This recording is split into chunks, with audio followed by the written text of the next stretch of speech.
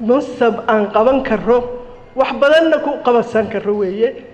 Waxaan jeclahay inaad taageeradiina muujisaan hawshaasi dowladdu waa ka koow baarlamaankunbaa hadhsanaa aniguna waa diyaarsanahay. Waa warbixintii dib markaan u akrinay oo wixii doodihii aan dhegaysanay waa wadarta guud ee miisaaniyadda labada kun labaatan labada loo qoondeeyey waxay ahayd sagaal boqol afartan iyo afar milyan siddeed boqol konton iyo sagaal shan boqol lixdan iyo afar dollar. Boqol sagaal iyo toddobaatan mudane ayaa soo xaadiray kulan wadajir ah oo maanta xildhibaanada labada aqal ee baarlamaanka soomaaliya ay ku yeesheen halkan iga dambeysa oo ah xarunta villa hargeysa ee magaalada muqdisho. Waxaa garwadeyn ka ahaa guddoomiye ku-xigeenka koowaad ee golaha shacabka sacdiye yaasiin xaaji samatar iyo sidoo kale guddoonka labada aqal ee baarlamaanka soomaaliya. Ajandaha kulanka ayaa ahaa ansixinta xisaab xirka miisaaniyad sannadeedka labaatan laba iyo labaatan oo kal hore ay soo gudbisay wasaaradda maaliyadda ee xukuumadda federaalk soomaaliya. Ugu horreyn guddiga labada aqal ee baarlamaanka u qaabilsan arrimaha maaliyadda ayaa faahfaahin kooban ka bixiyey wax kabeddelkii lagu sameeyey iyo sidoo kale sida ay isugu dheelitireen xisaab xirka miisaaniyad sannadeedka labaatan laba iyo labaatan markii uu soo marayay akhrinta koowaad iyo labaadba. Sida mooshinka aanu ku soo jeedinnay in ajandaheenna maanta lagu kordhiyo inaynu taageero u muujinno xildhibaanad ka tirsan baarlamaanka federaalka soomaaliya waa xildhibaan foosiye xaaji aadan oo u taagan chairmanshipka african union maadaamay foosiya baarlamaanka xubin ka tahay oo ay baarlamaanku yihiin meesha ay ka tirsan tahay waxaa noo muuqatay inaynu taageerada koowaad ka siino aqalka ay ka tirsan tahay oo aynu isgarab taagno keliya isma garab taagayno foosiye oo aan ku kalsoonahay aqoonteeda iyo waayo aragnimadeeda ay u leedahay arrimaha dibadda iyo african unionba waxaynu isgarab taagaynaa in hal kursigaa ay soomaaliya ku fadhiisato oo ay tahay in markii ugu horreysay east africa ay kursigaas isu soo taagayso gabadh. Inaynu gabadh ahaan isugu garab taagno soomaali ahaan isugu garab taagno. Baarlamaankeenu uu bixiyo endorsementka iyo taageerada ay u baahan tahay hadday mid dabadeed tahay iyo hadday mid localba tahay intaasaan isu soo taagay baarlamaanka sharafta le waxaan ka codsanayaa inuu muujino garab istaaggaas sheegay waa diblomaasi waa wasiir iyo ra'iisul wasaare ku-xigeen bay soo martay. Golahanay wax badan ku jirtay. Waa qoraa waa qof afaf badan yaqaana. Dabcan markii laga raabo afka maayiga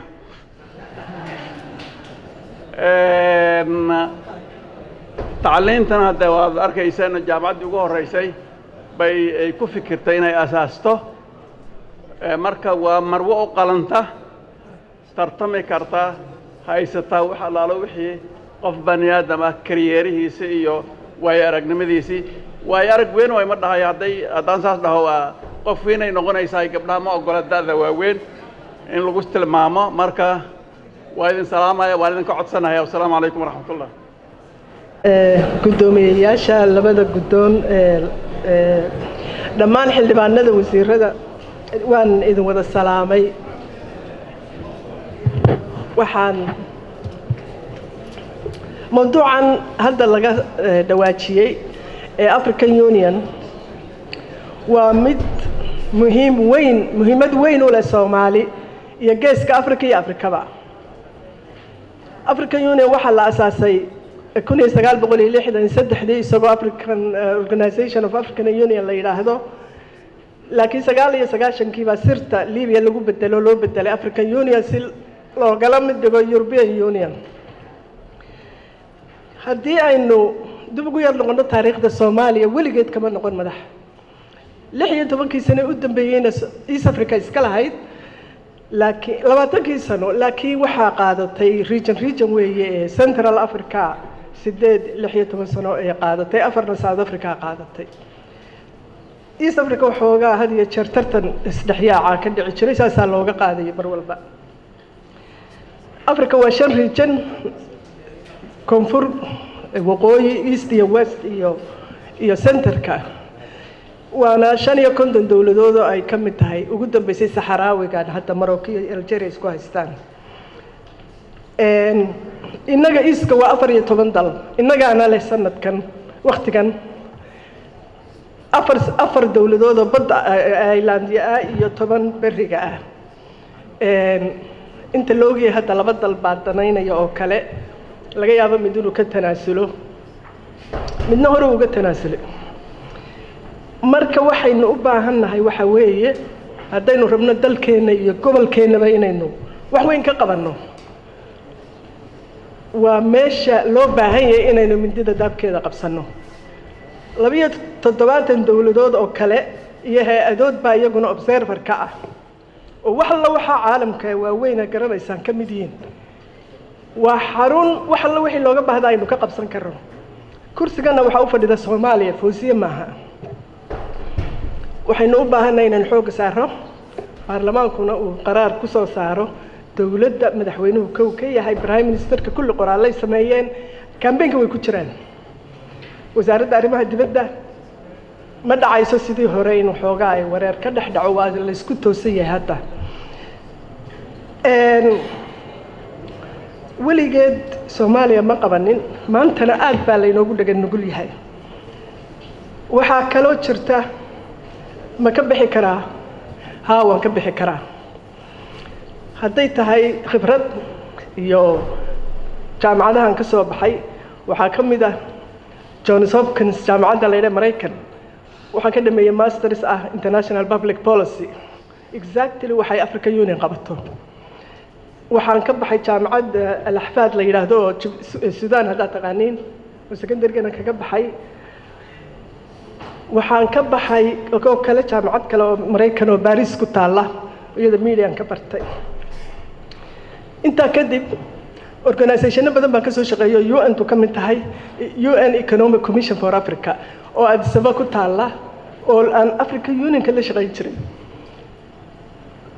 waxaan ka soo ahaa ka soo shaqeeyey ogti jaamacadaha jaamacadda hargeysa macalina ka noqday kana asaasayna guddoomiyana ka noqday.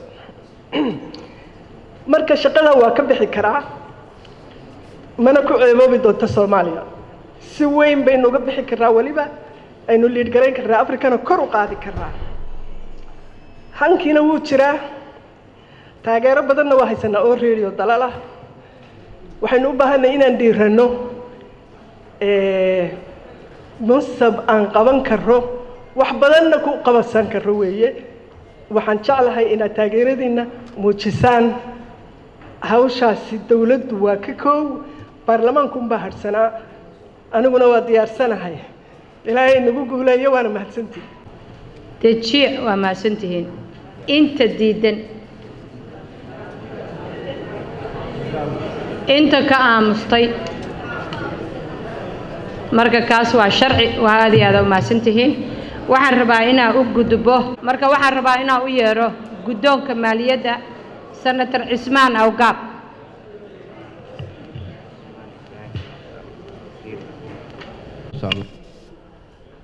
guddoonka labada aqal xildhibaanada labada aqal howlwadeennada baxda saxaafadda waxaa idinku salaamaya assalaamu calaykum waraxmat ullahi wabarakaatuh.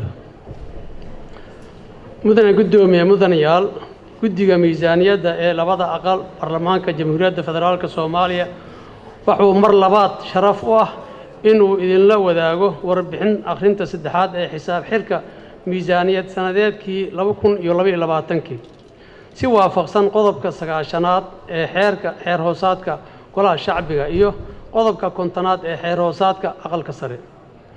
Mudane guddoomiye mudanayaal ugu dambayntii waxaan halkan idinku soo lifaaqayaa warbixintii akhrintii saddexaad ee si si mudanayaasha labada aqal ee baarlamaanka federaalka soomaaliya waajibaadkooda dastuuriga uga gutaan. Waa mahadsantihiin waa idinka codsanaynaa in maaragtay aan noo ansixisaan guddoonka labada aqal xildhibaanada ee, labada aqal dhammaan ee, bahda saxaafadda iyo howlwadeennada baarlamaanka iyo wasaaradda maaliyadda iyo wasiirka maaliyadda waa asalaamu calaykum waraxmat ullaahi wabarakaatu salaan kadib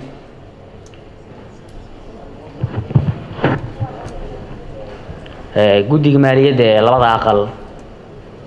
Waxaa hal waxa uu halkan idinkugu soo gudbinayaa ama halkan idinkula wadaagayaa warbixinta akhrinta saddexaad ee xisaab xirka sanad maaliyadeedka labada kun labaatan iyo labada ayadoo saldhig looga dhigay doodii iyo tala soo jeedintii xubnaha labada aqal ee baarlamaanka jamhuuriyadda federaalk soomaaliya ay ka dhiibteen akhrintii labaad. Ee dib u akhrintii xisaab xirka labada kun labaatan labadii. Waa warbixintii ee, dib markaan u akrinay oo wixii doodihii aan dhegaysanay ee, waa wadarta guud ee miisaaniyadda. Labada kun labaatan labada loo qoondeeyey waxay ahayd sagaal boqol afartan iyo afar milyan siddeed boqol konton iyo sagaal shan boqol lixdan iyo afar dollar. Waxaa soo xarooday dakhligii dhan toddoba boqol lixdan iyo sagaal kun laba boqol soddon iyo toddoba afar eh, siddeed boqol konton iyo siddeed boqol afartan iyo sagaal. Isla markaasna waxaan soo xaroon lacag dhan boqol toddobaatan iyo shan kun toddobaatan iyo shan milyan lix boqol labaatan iyo kow toddoba boqol toban iyo shan dollar taasoo u dhigantaa lacag dhan toban iyo sagaal. Ku miisaaniyadda loo qoondeeyey dhanka qarashaadka markii saadaalintii wixii la fiiriyey iyadana waxaa soo xarootay sagaal boqol eh, labaatan iyo sagaal kun sideed eh, sagaal boqol iyo eh, konton eh, labaatan iyo afar shan boqol lixdan toddoba waxaana baxay wadar dhan eh, toddoba eh, toddoba boqol toddobaad eh, toddoba boqol soddon iyo kow milyan afar boqol soddon iyo afar lix eh, siddeed boqol lixdan iyo lix taasoo ka dhigan inuu jiro hoos u dhac dhanka eh, eh, boqolkiiba labaatan iyo kow ah marka eh, waxaan faahfaahinaya jadwalkan iyo dakhligii sidoo kale jadwalkaasaa faahfaahinaya.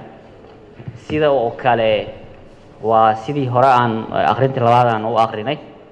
Eh, jaantuskan isagana wuxuu na tusinayaa dakhliga canshuuraha dakhliga dibadaha iyo labada deeqaha dibadaha ee labada dhinac iyo deeqaha mashaariicda.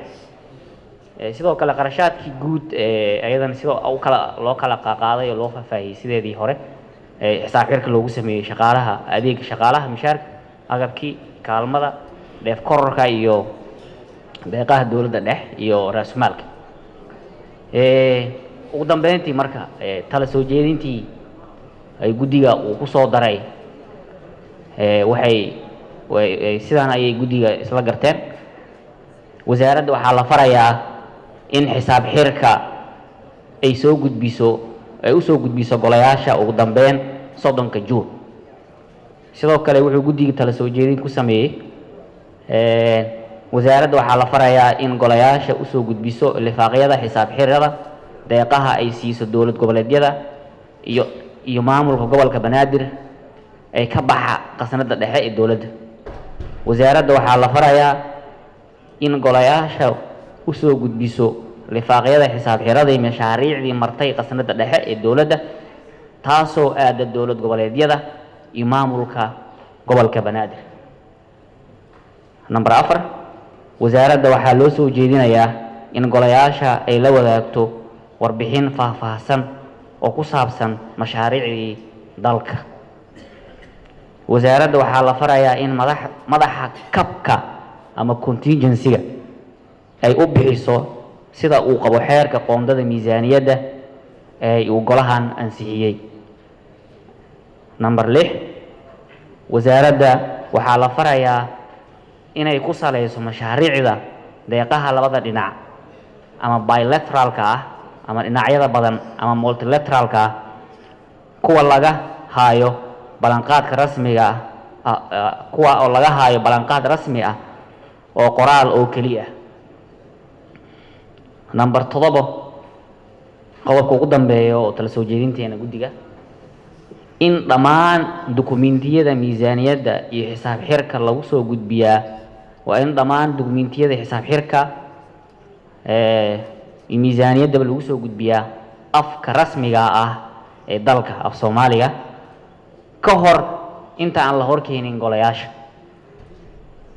Ugu dambeyntii guddiga maaliyadda labada aqal ee baarlamaanka jamhuuriyadda federaalk soomaaliya wuxuu si xishmad iyo qadarin ku dheehan ku dheehan tahay uga codsanayaa xubnaha labada aqal ee baarlamaanka jamhuuriyadda federaalk soomaaliya inay u ansixiyaan warbixinta akhrinta saddexaad ee xisaab xirka sanad maaliyadeedka labada kun iyo labaatan iyo labada.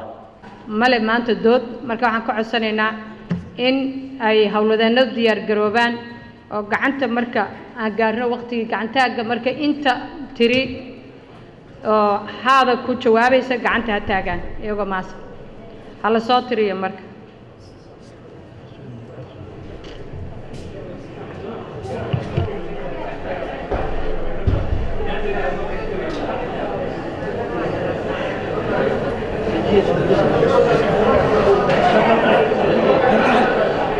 mahadsantihiin